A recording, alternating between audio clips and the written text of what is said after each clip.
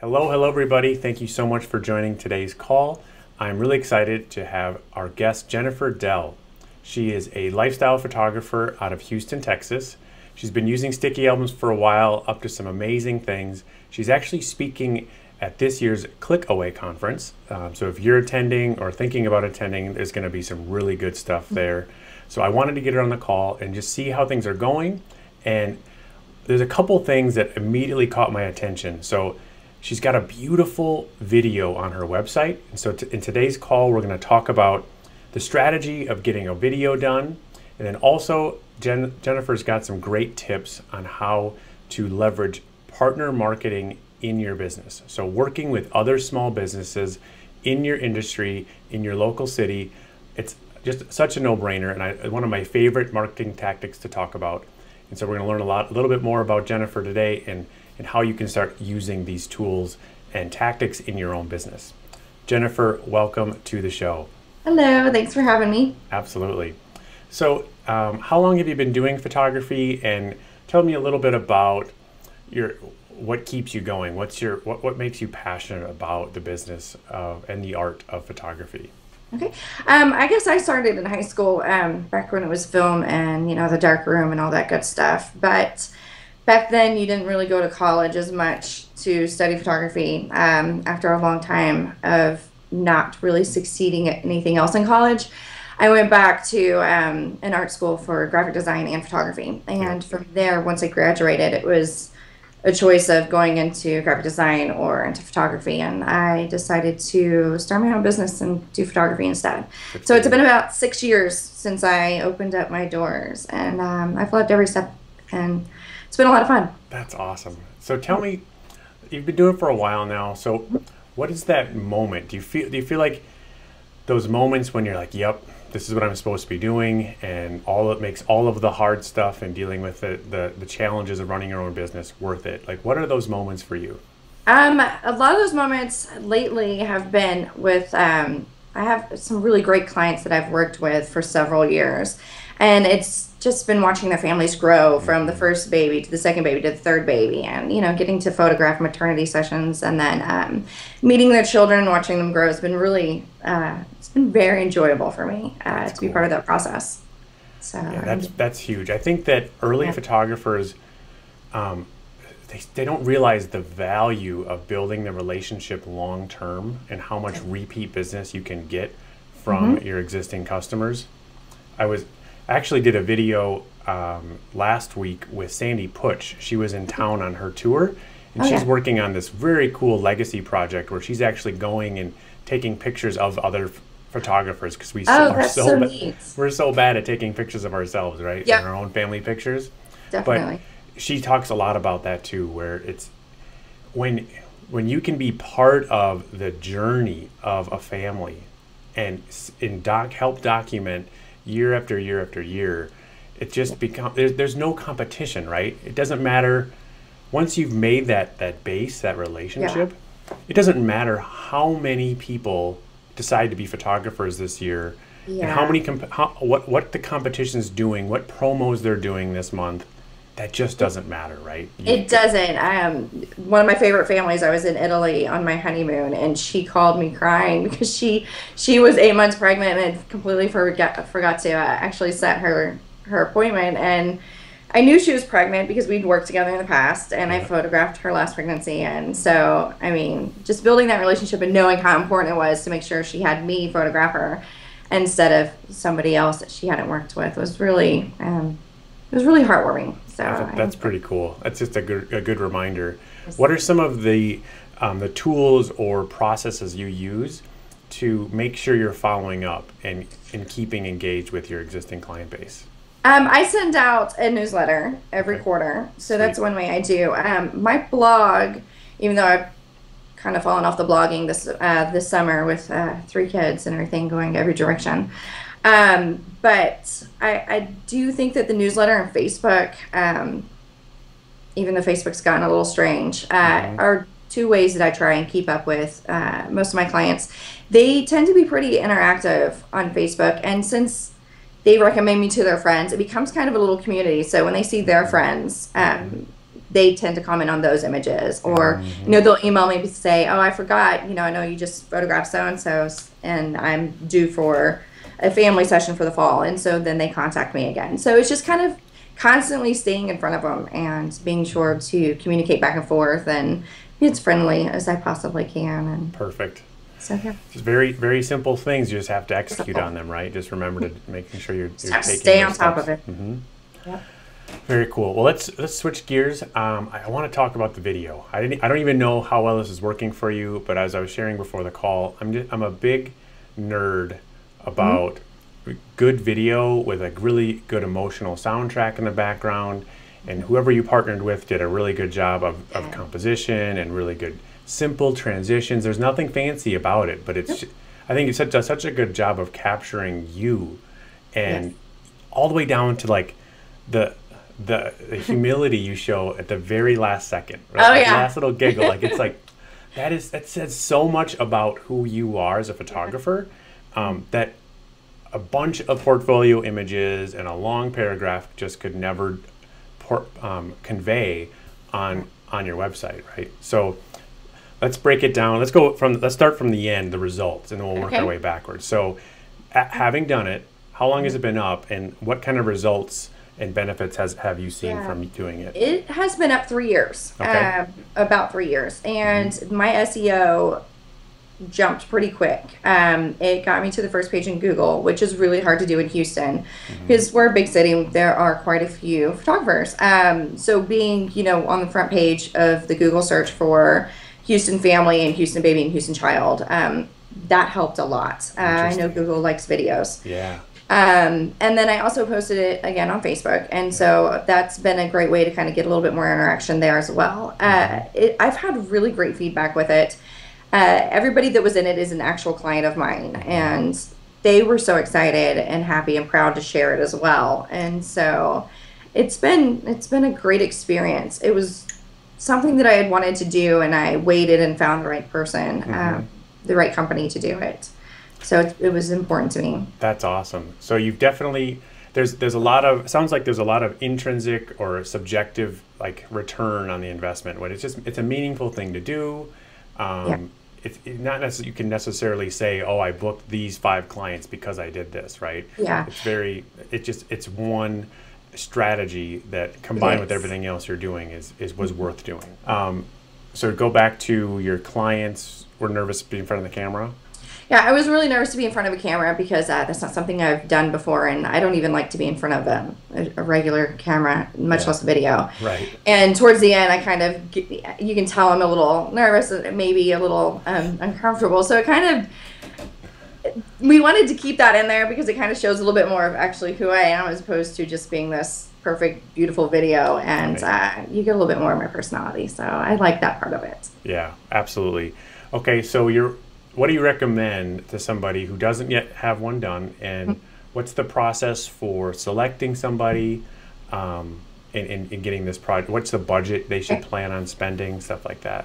Yeah, the budget was the first thing that was um, what I encountered when I started doing my research. It was a matter of I wanted a high quality. It was uh, three to five thousand. So in Houston, that's pretty average if you're going to do a video, and that was for a minute and a half, I believe. Yep, got it. Um, one video, and uh, I really wanted somebody who could tell a story as opposed to just this is a photographer, she takes pictures.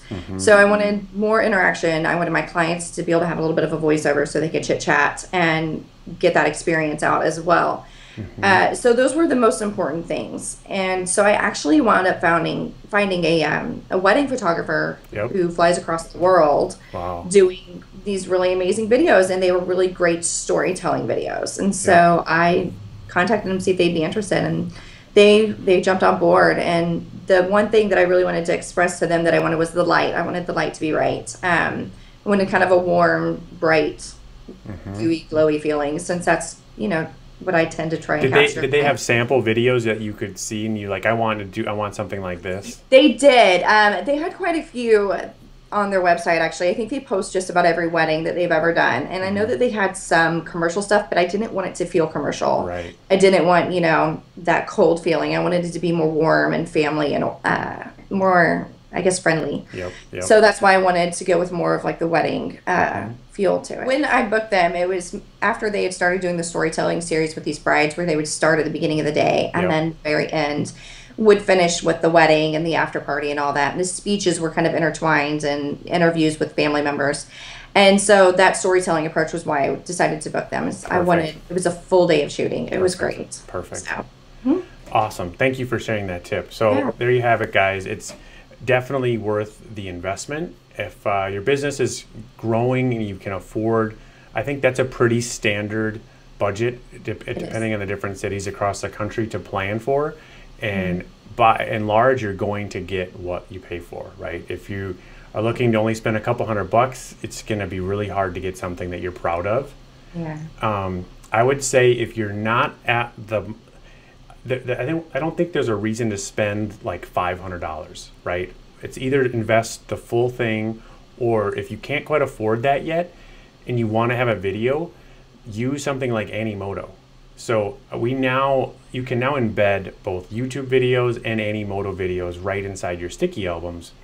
And one of the key things I like to remind photographers as you experiment with maybe doing video yourself for clients is audio is Mm-hmm. Yeah. so important.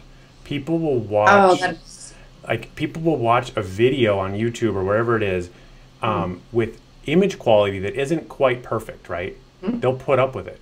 But. Yep. when audio is bad, it's, terrible. it's people it like hurts your brain. Like people can't they won't watch it, right? Yeah. And so even if you were to sit down and get a decent USB microphone or um, just some kind of other they sell like really easy portable uh, like micro USB or micro SD card record recorders, right? Yeah.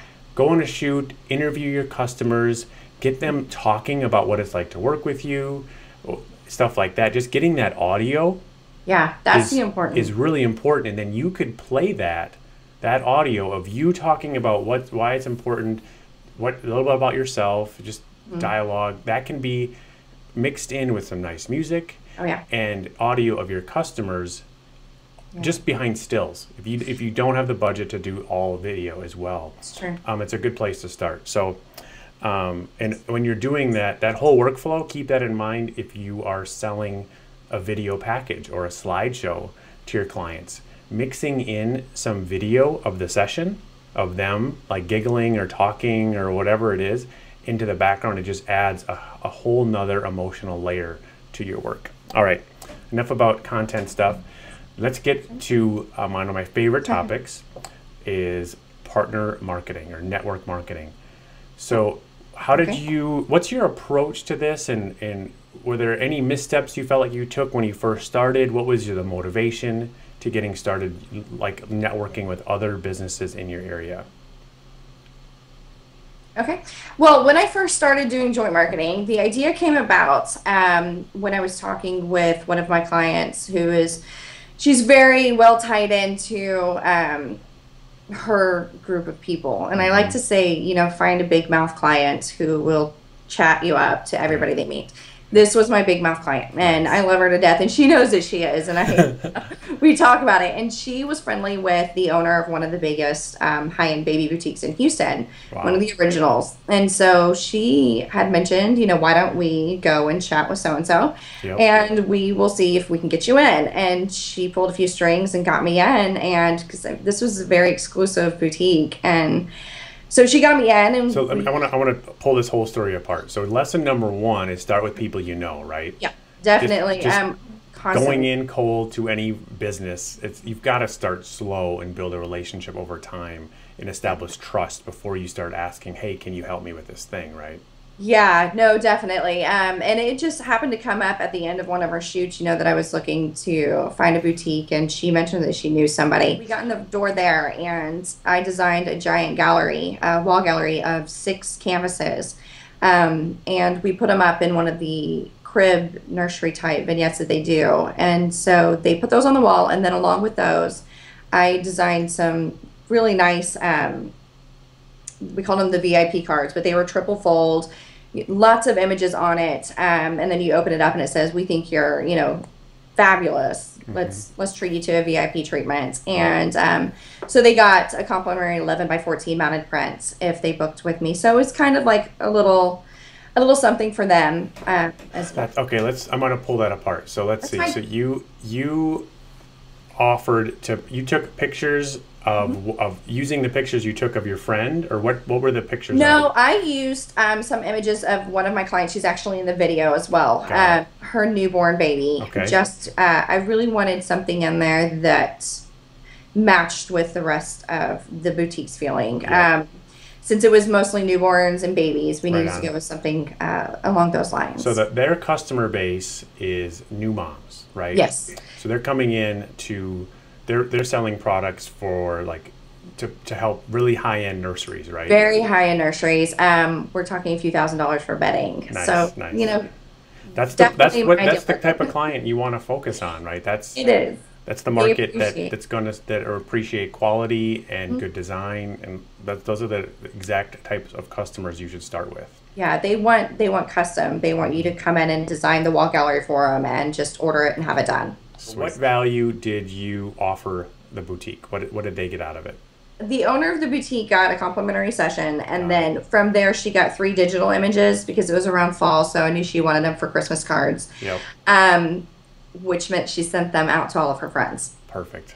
So I was okay with that. And Yeah. then she ended up um, purchasing some canvases of her boys and stuff, and uh, she put a few of those actually in the store as well and at her home. So it Fantastic. it worked out really well. That's awesome. And then, so in exchange for that, you got to put a marketing piece Yes. that you printed up. And where did that get? How, how did people come across that marketing piece? They had those. The um, the sales associates had those, and they only offered them if they knew that it was definitely going to be a client that I would work with. Um, Interesting. So they were kind of well versed in what we were looking at. So these were, you know, it was very much a much a uh, you're VIP here. So they Yeah. really it wasn't out on the counters. There was nothing like that. Um, it was down behind and out of sight, uh, which is the way I wanted it. I Yeah. wanted it to feel more exclusive. Good for you. That's really So- smart. Yeah. And what kind of results did you get out of that? Like, how many sessions do you think you Several sessions a month. Um, it was especially right off the bat. Um, it was great, and uh, over time, you know, it's still it's continued to be a couple sessions a month, and they've told their friends, and you know, it's been This really keeps growing from there. So, is there any kind of followed up benefit? Like, did, what what is there anything you're doing to continue to to nurture that relationship? Like, Definitely. what else Um, do they I- get out of this? Definitely. I uh, I still shoot her family every fall, Perfect. so I mean, I just couldn't imagine being like, hey, put my stuff in your store, but you get nothing in return. exactly. That's what I So- keep coming back to. I think people, it's very easy to skip past that. It's easy for new photographers to see, oh, all these people could help me. It's like, well, you're just going to turn them all off. Nobody wants to work with somebody who just wants to take.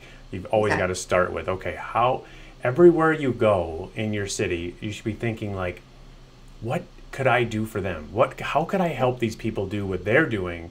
How could I help them accomplish their goals more Yeah. effectively, right? And that's Yeah. going to give you, that's, that's how you get your foot in the door.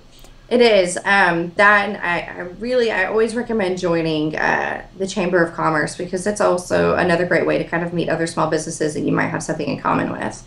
You guys can work towards a common goal. Right. Very cool. Um, so, in that spirit, I'm going to share with you a tip. What a lot of photographers are doing with this partner marketing Yeah. is you can surprise this this mom. Um, so let, let me brainstorm with you. What kind of products? So they sell bedding. Do, do they? Is Furniture, that, bedding, it's in clothing? Do like do they have like is like a a new like? Do they get new clothing styles every season? Oh, yeah.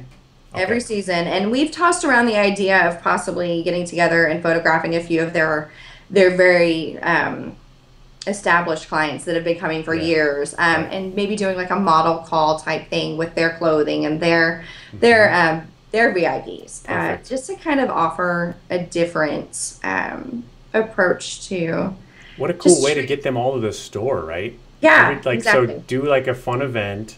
Mhm. Champ they do champagne and mimosas or whatever. oh yeah you always have to Right? And then have have some like your little studio set up in, an, in, a, in a corner and then they all get to try on fun clothes Yeah. and you get an opportunity to, to give them like they all get a free app of their Exactly. pictures, right? Yeah. And what's fun then is the the the what we're all getting to here is you can make a sticky album that's custom branded for this boutique. So instead Yeah. of you putting your lo- your photographer logo on the top, Hmm? you put their logo, yeah. their contact information, and it's called like the our fall lookbook Yeah. or Oh, fall see, digital lookbook idea. or something like that, right? Definitely. And then in it can be some a, a coupon image that is show us this app when you book and save 10% off your first purchase. What you can get creative on what the coupon is. Yep. And then of course, you have your own coupon that's in there also. Like. And what's even yeah, and they're gonna want to share that with all their friends because it's got a coupon for you know fancy pants, baby clothing, and Exactly. so yeah, Exactly. it's passed around. Um, and so, last tip now that we've just added this new feature in Sticky Albums with the new version So is uh, a promo feature. So, Okay. you can add uh, an email opt in form or registration form inside any of your Sticky Albums.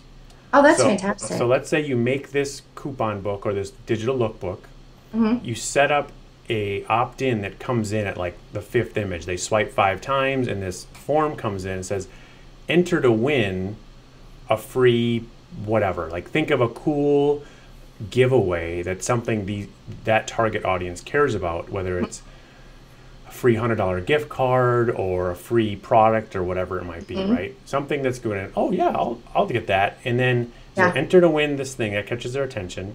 Just subscribe to what's the name of the the boutique? Doodles. Subscribe to the Doodles newsletter to get updated um, like. Uh, I'm trying my best to make. I'm not an expert on nurseries, um, Baby stuff. so I'm just working this out in my head. So it's like uh, subscribe to the newsletter to get weekly or monthly tips on new uh, baby fashion or nursery ideas or tips Yeah. and special discounts, right? Yeah, a lot That- of these parents are wanting the new trendy. So they yeah. want to be on top of that anyway. And so it, what that does is it just it's a good job of priming them. Like this is what you're subscribing to, right? You're being honest. This is about subscribing them to a newsletter, but Yeah. you're you're being transparent and saying like when you subscribe to the list, not only do you get a chance to win something awesome, Mm-hmm. but just for subscribing, you're going to get something awesome too. They're going to get weekly or monthly tips on things they care about and Mm-hmm. discounts already. So you can set it up so that as soon as they register, you say thanks so much for entering and you can send them here's a coupon so let's say you're giving away a hundred dollar coupon yeah. you can send them everybody who enters a ten dollar coupon right Yeah. away right Yeah. so they're like oh wow this is really nice of them and it just keeps then they're going to be sure to open the email when you or the boutique adds them to their list right Definitely. so It's, a great idea. um, and then uh, video again is awesome have Yes. somebody who's shoot if you're shooting any video of like that fun fashion day Yeah, and I shoot video too now, so Perfect. um, yeah. So you can embed that video in the gallery so they can look at like what was the whole experience and everybody's going to be check it out look at this fun day I got to go to and everybody there is sharing it um, Definitely. and then uh, other ways it gets promoted um, is you can start partnering with other vendors too so it becomes like a coupon book possibly Yeah. Or for this um, doodles like they can add this to the bottom of their email signature or their newsletter it says download our fall Yeah. lookbook Yeah. with special a- coupons Yeah. Anyways, See, that's a great idea. so that's the full-fledged coupon partnership app use Yeah. case um, you, set it up and I'm, I'm excited you'll have to follow up with us and see I will. I'm gonna have to set it up before I go to Clickaway so I can chat about it and uh, meet with some of when I'm doing the uh, the platform. Uh, perfect that. that'd be super i would i can't wait to see what it looks like Oh, We've got we're working on some cool templates to help people build those types of things So also. excited. So I'll, sh- I'll share the templates with you also. Okay. We'll add those the same templates we've got um, to this blog post as well. Um, Right. So this is really good, Jennifer. Thank you so much for taking time to chat with me. of course. Um, where can people go to learn more about what you're up to? Um, my blog, I guess, my blog site uh, or Facebook. but um, uh, you know, Facebook is these days. Right on. So, yep. Well, thank you so much for your time. I really appreciate it, and you have an awesome rest of your Thank day. you. Cheers. You too.